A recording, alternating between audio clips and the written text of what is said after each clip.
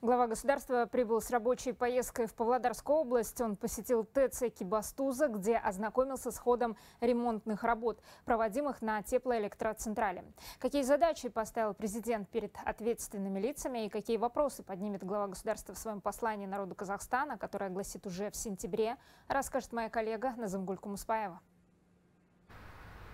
Прибыв в Павлодарскую область, первым делом глава государства посетил Экибастузскую ТЭЦ. Все мы помним, в какой ситуации оказались жители Экибастуза прошлой зимой. И сейчас делается все, чтобы не допустить подобного.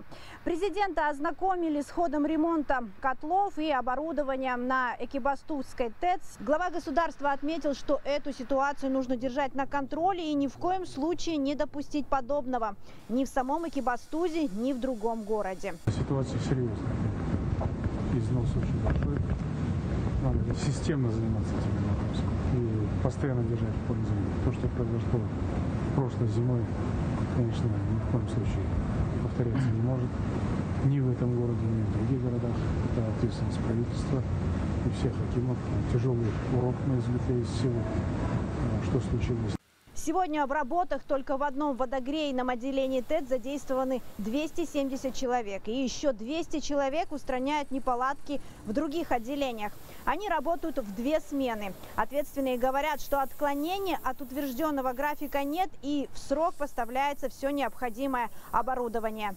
Сейчас уже на 11, 14 и 15 котлах идут монтажные работы к завершению. Мы планируем провести гидравлические испытания к концу августа, начале сентября месяца и приступить уже к газовоздушной опрессовке и выводить котел в резерв. Еще 5 паровых котлов, они тоже в этом году ремонтируются. Из них 3 котла будут находиться в капитальном ремонте, 2 в текущем ремонте. Сейчас идут капитальные работы по шестому котлу и восьмому котлу. Усредненно на 60% наверное есть готовность.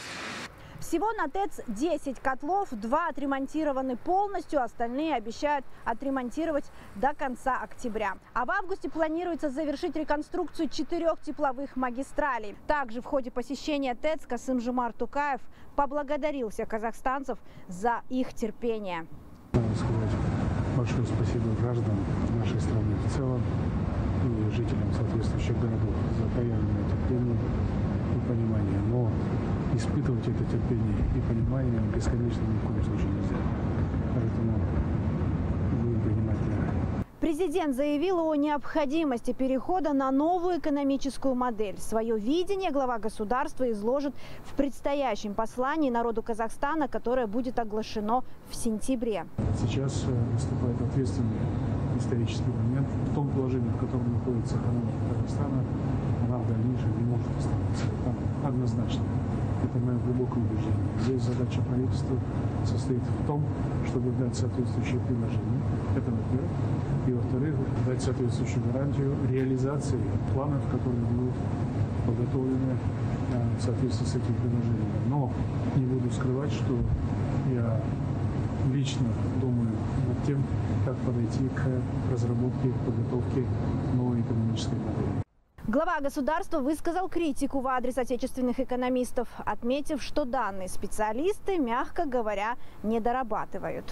Я считаю, что они не дорабатывают, отсутствует креативность, отсутствует понимание задач, которые стоят перед нами, перед государством в целом.